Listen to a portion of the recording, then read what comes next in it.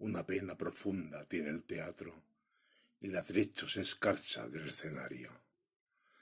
Pasará mucho tiempo hasta que un sabio como Antonio camine por estos campos. En el cine de Alfredo, una de pájaros, comenzó la película y empieza el planto. En el cine, en el cine se ha iluminado el jardín del abuelo lleno de faros.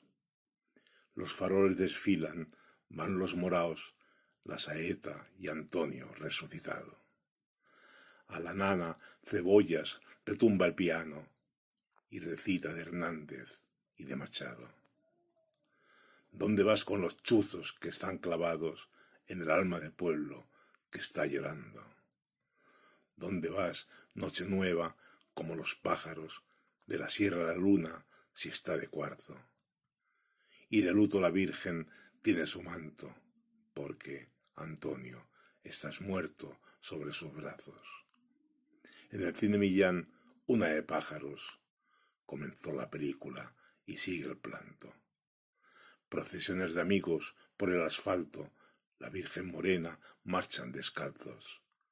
Y tú vas al camino, báculo en mano, por la senda más larga, llena de cantos en el cine, en el cine vais con los faros y Jesús Nazareno crucificado.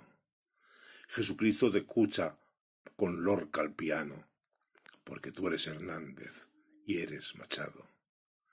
En el cine de Alfredo tiemblan los faros, la saeta flamenca canta gitano.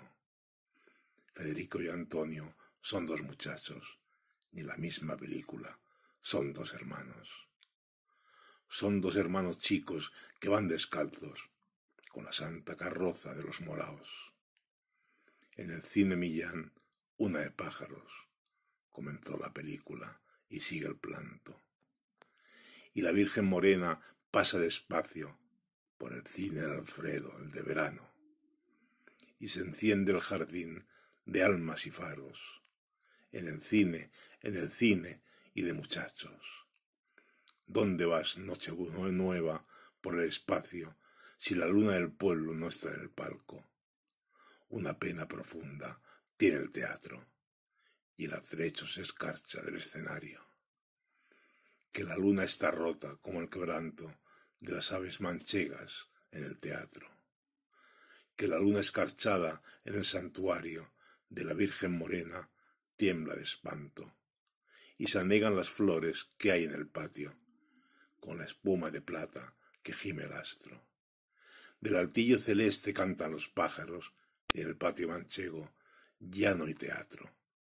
Su barraca del cielo tiene los clavos de platino y de oro purificados. Y se escarcha el atrecho, con sus manos de caoba creaba para el teatro.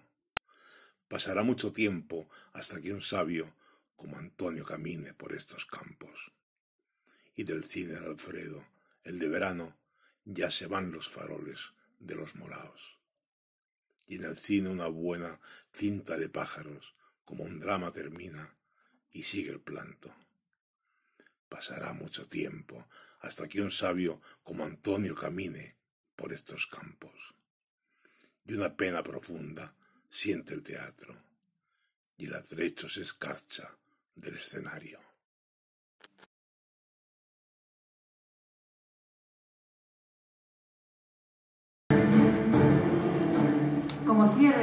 A esta parte dedicada a los tercios españoles, les vamos a leer un texto del notable historiador Claudio Sánchez Albornoz, que sintetiza con gran maestría el valor y la entrega de esos hombres, la mayoría de las veces anónimos.